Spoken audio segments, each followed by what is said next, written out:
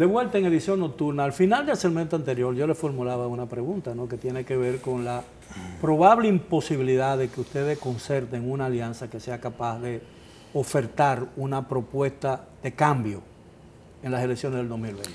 Mira, Miguel. Y que el único punto realmente en común de ustedes es la oposición al presidente Danilo Medina. No, mira, yo creo que esa es una visión simplificada. Realmente aquí de lo que se trata es, en primer lugar, de salvar la democracia en República Dominicana. Porque lo que estamos viendo, lo que se está confirmando, lo que es notorio, es que hay un esfuerzo de imposición de virtualmente una dictadura, de partido. Entonces, eso puede provocar una reacción amplia de muchos actores que prioricen el tema institucional y concerten una coalición para enfrentar esa realidad. No es la primera vez que pasa en la historia de la República Dominicana y ahí eh, la coalición descansaría en un acuerdo de programa mínimo. Ahora, podría darse el escenario, que también, te digo, no se descarta, es que se formen también dos coaliciones con base programática o una combinación de ambos donde haya acuerdos, porque hay posibilidades de llegar a acuerdos en muchos temas. Por ejemplo, para la Fuerza Nacional Progresista, los temas de soberanía en una serie de campos son de alta prioridad. Ahora, ah, en función de eso podemos llegar a acuerdos. Como solía decir Mario Moreno Cantinflas, eh, ahí está el detalle. Es decir, la dispersión del voto de oposición siempre ha favorecido al partido de gobierno. A lo largo de todo Cuando el, partido de gobierno está unificado. Cuando. No, y no solamente es eso.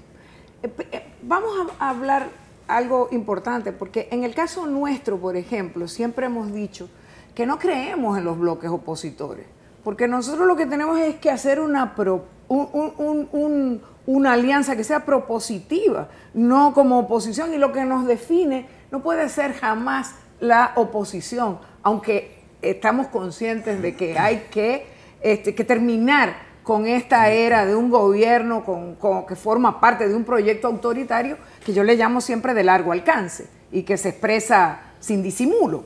Pero nosotros lo que decimos es que tenemos que, que, no le tenemos por qué tener miedo a la, a la, posibilidad de presentar eh, propuestas que sean alternativas porque en una democracia tienen que existir alternativas y aquí poco a poco esas alternativas han ido desapareciendo. Entonces pareciera que la única opción que el pueblo dominicano tiene es de votar por partidos que son viejos ya, que son partidos del sistema y que están defendiendo lo mismo, que no haya ningún cambio. Pero además, y a veces ante ese tipo de afirmaciones, eh, como la que usted acaba de hacer, yo me pregunto, ¿de verdad hubiera podido ser distinto el resultado del 2016 en el caso de que todos los partidos que no estaban con el gobierno hubieran ido aliados? No, eso no fue la razón por la cual no, este, no ganó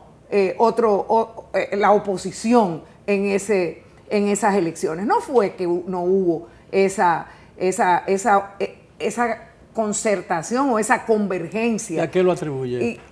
Bueno. Una estrategia de aplastamiento y avasallamiento, usando los recursos del poder. Y además lo hago. no, pero básicamente, déjeme contestarle. Lo atribuyo básicamente al propio sistema electoral que tenemos, que es un sistema electoral que no es democrático, que es, es, un sistema que beneficia a los partidos viejos del sistema, que es un sistema por demás que hasta ahora no ha demostrado ser capaz de celebrar elecciones que sean libres, limpias y sobre todo competitivas. Licenciada. No se puede competir con la desigualdad de condiciones que tenemos en ese sistema. Es evidente que no hay espacio, no hay espacio material ni la intención de cambiar todos esos vicios que usted ha dicho que fueron decisivos en los resultados de las elecciones del 2016. Aquí no hay un solo legislador que sepa cuántos votos sacó. para poner un ejemplo, no en las presidenciales, que todo el mundo sabe que no fueron esos los resultados. Yo quiero llegar, yo quiero llegar a, eh, un, lugar, ¿no? Es decir, es evidente que todos esos vicios, con lo que estoy de acuerdo, muchos de ellos, eh, eh, fueron decisivos. ¿Estás de acuerdo con los vicios? No, no, no. Estoy de acuerdo Con que en, la- existen. no, en que existen esos vicios. En, la, en, la de, en, la, en, la- en los resultados de las elecciones del 2016. Y no hay espacio político ni tiempo material para que esa situación cambie radicalmente, que permita la creación de un ambiente diferente, más democrático. Y es evidente que ese uso abusivo, como se dice, ¿no? de los recursos del Estado en favor de- del gobierno dominicano, podría evidentemente repetirse cualquiera que sea la oferta electoral de ese partido. Entonces, ¿qué formas existen o qué fórmulas existen para cambiar esa situación? Mira, yo pienso que hay una corriente. Porque me parece que es un poco fatalista, ¿no? Sí. eh, Bueno, depende de dónde se vea, porque nosotros decimos No, que no, estamos no, no. luchando para cambiarlo y estamos trabajando en ese sentido y por eso no nos cansamos de llevar adelante acciones. hay una corriente que se está dando en América Latina de la cual nosotros somos parte. Y yo creo que República Dominicana no está exento a esos efluvios, a esa influencia. Yo pienso que aquí hay sectores que están despertando en la vida política. Sectores, en el caso, como nosotros lo vemos, que antes eran conservadores, muy conservadores en términos de participar en la política, que hoy están haciendo una vida activa en la política. Decir que aquí hay un partido mayoritario, un líder mayoritario en estos momentos, yo creo que no se corresponde con las mismas encuestas que están saliendo.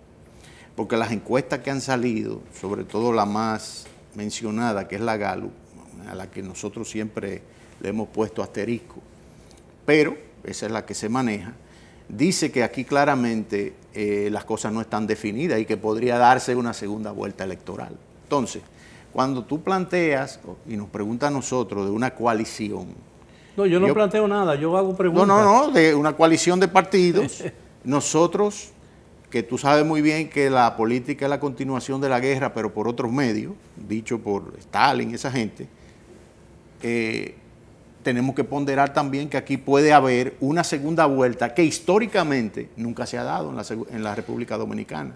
Y eso forzaría entonces a toda la fuerza, de una manera, diríamos, circunstancial, a tener que ponernos Bueno, de acuerdo. eh, en- en- con una excepción en el 96, Sí. el PLD llegó al poder en una segunda Miguel, vuelta, ¿no? pero hay un asunto que yo quiero rescatar, que es el tema una del- polarización. Del, ciclo político.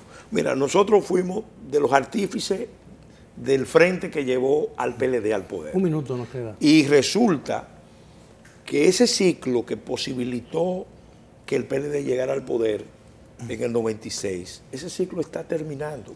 Bien, y pero y el liderazgo del PLD lo sabe. Pero tenemos lo sabe hacer- Leonel Fernández y lo sabe hacer- Danilo Medina. Tenemos que hacer una pausa, regresamos ya con la parte final del tema de esta noche. Continúen con nosotros en edición nocturna.